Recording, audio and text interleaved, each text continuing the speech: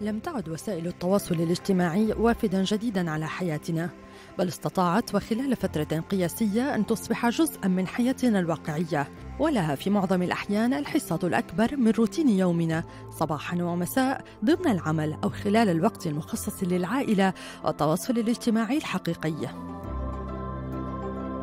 يأتي فيلم المعضلة الاجتماعية الذي أنتجته شركة نتفليكس ليعيد الجدل حول هذه الوسائل ويثير قلق مئات الآلاف من المستخدمين حول مدى إدمان الإنسان على مواقع التواصل الاجتماعي وكيفية تحكمها به واستخدام بياناته ليكون هو المنتج والسلعة المحضرة للبيع لملايين الشركات من خلال تحليل تصرفاته ومدة مشاهدته واتصاله بهذه المواقع واهتماماته.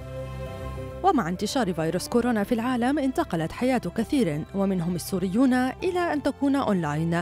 التعليم والعمل عن بعد والتباعد الاجتماعي المرافق لتدابير منع انتشار الفيروس جعلت التعامل مع وسائل التواصل الاجتماعي حتميا وخاصة البرامج التي توفر منصات للاجتماعات والتنسيق إضافة إلى أهمية محركات البحث جوجل مثلا في حياتنا اليومية حتى شاع مصطلح جوجلها حيث تشير البيانات إلى أن 90% من مستخدمي الإنترنت يعتمدون جوجل مصدرا أساسيا للبحث والمعلومات فهل هؤلاء المستخدمون قادرون على حماية بياناتهم وخصوصية حياتهم؟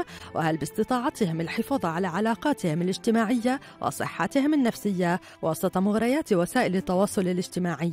والأهم كيف نجنب أنفسنا أن نكون منتجا مجانيا لهذه الشبكات؟